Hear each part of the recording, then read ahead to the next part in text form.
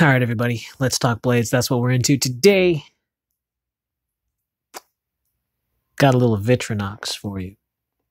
Swiss Army knife. Now, if you're not familiar with that, I mean, you gotta be. Everybody who knows what knives are, even just a little bit, knows what a Swiss Army knife is. Some people like to refer to them as jackknives, and um, it's actually not really a jackknife, but maybe it is. I don't know. Uh, simple little sl- slip joint type multi tool, tool oriented kind of thing. Well, anyways, I got for you guys the Adventurer.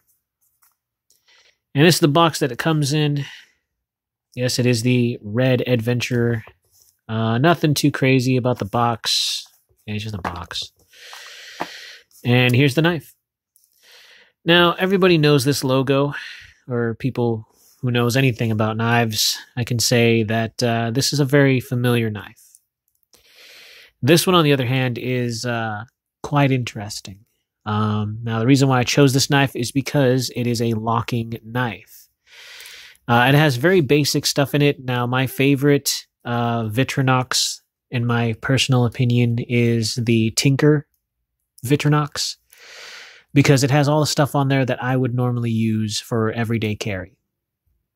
Now, when I when I go to work or when I'm just you know doing stuff around my room or in my, in the house, I like to use things that are practical. This is a very practical thing for me. It has simple features on it that I can use that are, you know, I don't have to sit here and neglect a whole Victorinox, you know, knife thing, but this one has one main blade and it locks in place right here. See where it says press right there? But the only thing that's weird about this is that it's more for lefties than it is for righties because I have to actually push it in from the opposite end rather than this side. It has a half stop and it does close very smooth. It does have a nail nick and it's got a close to three and a half inch blade on there. So you got a pretty hefty knife. Now, this is a type of knife that I would use and uh, in a very, very normal fashion. and it seems to be the kind of knife that is good for almost everything. So it's not like I need to worry about using serrations or anything like that. It's just a very simple, straightforward, you know, user blade. And of course, it has the uh, bottle opener. I think that's a wire strip right there. And then you got your Phillips flathead. And this is pretty hefty, and it does lock on this side as well. So that's really neat that it has that feature. Just press it in and disengage it. Uh, you got your can opener on this side, and even smaller flathead right there. Um, so would I use this for anything? Yeah, I would. I would use the can opener not to just open cans, though I've never really had a chance to use it for that.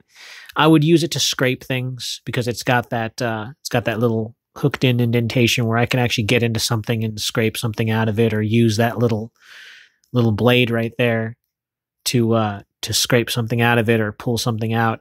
So this is a very useful tool. So very, very straightforward. Uh, nothing too crazy. You got your screwdriver right here, and you have an awl or a reamer right here. Uh, unfortunately, it doesn't have the little hole like a normal one does for your for your threading. But it does have a little usable blade right there. So, I mean, it is useful. I can use that for several different other things. And you got your little lanyard loop right there. You got your toothpick, your standard Victorinox toothpick, which I can use for a lot of other things. And of course, you got your standard uh, uh, tweezers, which I have yet to use tweezers, but I'm sure that they can come in handy getting into tight spots or places or if I ever need to.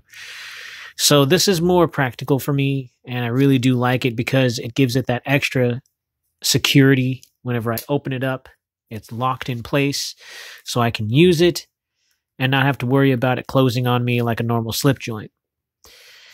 now that's what really caught my attention.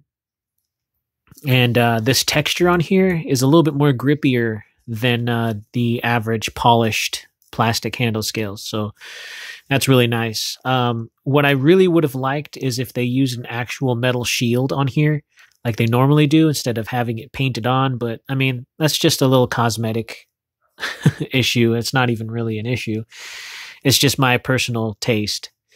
Um, everything else on this thing is is actually pretty nice. So I'm going to go ahead and get into the specs of this knife. Uh, it is pretty hefty in size, so uh, this is something that uh, you might want to consider having uh, a sheath for, or you could just drop it in your pocket and not give a damn. So, I mean, in my opinion, I've carried this in my back pocket a few times, and uh, it's not uncomfortable, but you do feel it. It is there, and it does have a little bit of heft and weight to it. So.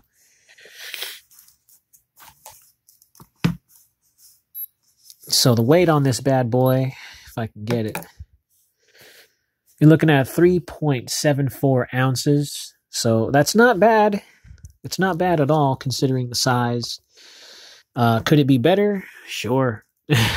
but at the same time, it's still not bad for its size. And if I could, I really want to get a good measurement on this blade because it's a little confusing to me. So yeah, you're looking at the the reach from the handle to the tip is uh, three and a half inches. Actual cutting edge, you're looking at three and one eighths of actual cutting edge. Uh, close to eight inches. It's like a smidge under seven and three fourths, seven and seven eighths. So it's kind of it's almost there, almost eight inches. So it's it's pretty hefty knife. And of course, calipers, if it means anything to anybody, you're looking at a 0.57 on the handle, so it is a bit of a chunker, and a 0.06 on the blade.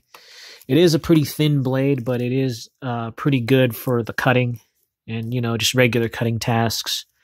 Piercing, you got that nice tip right there, so it's not too bad.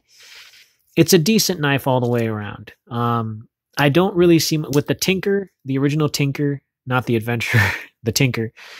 Um, it comes with two blades. So you got a smaller blade and you got a bigger blade. Whenever I use the tinker knife, I always use the regular blade. I never really see myself using the smaller blade, so it's kind of a waste. Um, so this takes the hassle out of that. I don't have all the stuff I would actually use, and this seems a little bit more realistic to what I would use my uh, Victorinox, my Swiss Army knife for. So this is actually pretty decent. I have no nothing really bad to say about this. I really do like it. Um, it does have a little bit of flex. If you're if you're really really pressing on the handle, you can actually see it kind of flex just a little bit. But I wouldn't worry about that as long as you're using it for what it's intended for. Uh, I wouldn't worry about it too much. Uh, it's still very smooth. It opens up and closes pretty well. The ring here is kind of, it, I'm not used to that, but you know, it is removable. But uh, for an everyday carry knife that has, you know, a little bit of tools on there, this is actually not bad. This is not bad. Not bad for the price. I think it's like, oh, geez, like between 20 and 30 bucks for this guy. So if anything happens, you lose it or whatever. I mean, it's not gonna break the bank to get a brand new one. and this is just off Amazon, so I got this off Amazon, so it's not bad. I really do enjoy Victorinox. Um, if you're not looking for a very insanely crazy, scary knife, this is something to consider. You know, if you're a fan of Victorinox or if you're a fan of Swiss Army knives, this is something to have in the collection.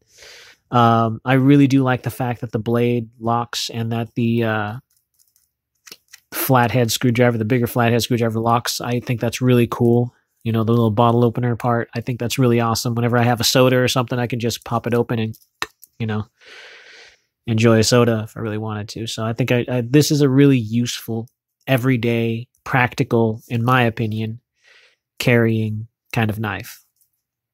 Now, there are other knives for other reasons I'm not going to get into.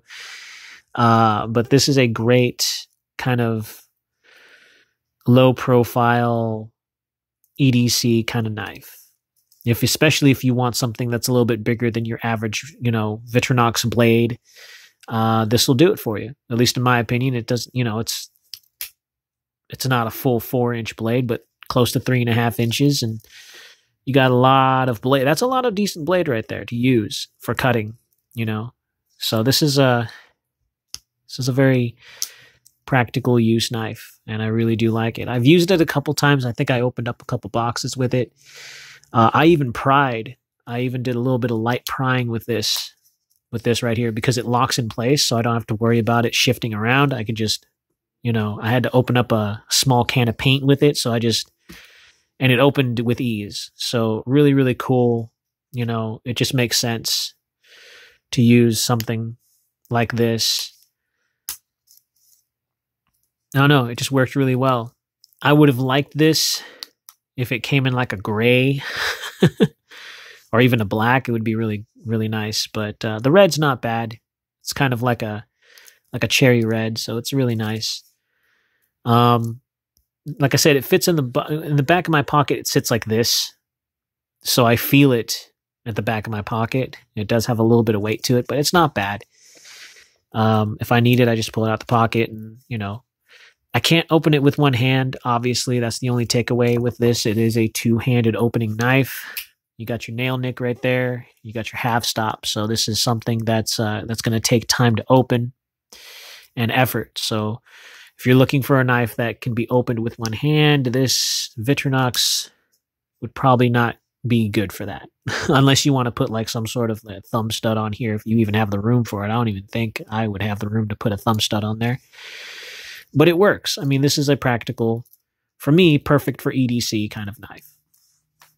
So, my whole thing is though, um, I always carry something a little bit bigger, something a little bit more my style. But uh, I've been kind of getting into Victorinox knives lately because of its uh, practical and useful uh, use and everyday usage. You know, so it's it's uh it's good stuff. So if you are into those kind of knives, well, then by all means, check this one out, especially if it doesn't break the bank. This thing is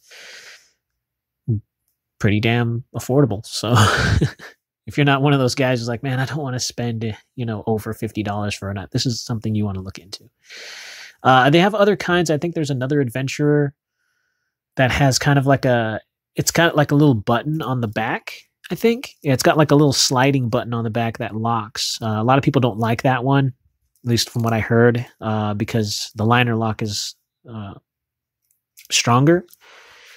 I'm not entirely sure about that. I've only seen videos and pictures, uh, but this one is really great. I really do like the liner lock on this one. It really does make a difference, uh, at least to me anyway. So I really do like it. It uh, most of the time it finds a place in my pocket because I just there's so many uses that I could use all that stuff for, and it just seems like it makes sense. Um, other knives, probably not so much. You know, I'd be like, ah, what am I doing? Am I prying? Well, I probably should be prying with this, you know, and then I op out and not use my knife for anything other than cutting. This one, you can use it for so much. And, uh, just makes more sense. So go ahead and slash that like button, stab that subscribe, slice that bell icon so you guys are notified anytime I post new stuff. In these craziest times, everybody, please be kind, be safe, carry responsibly, and I'll see you all awesome people in the next video.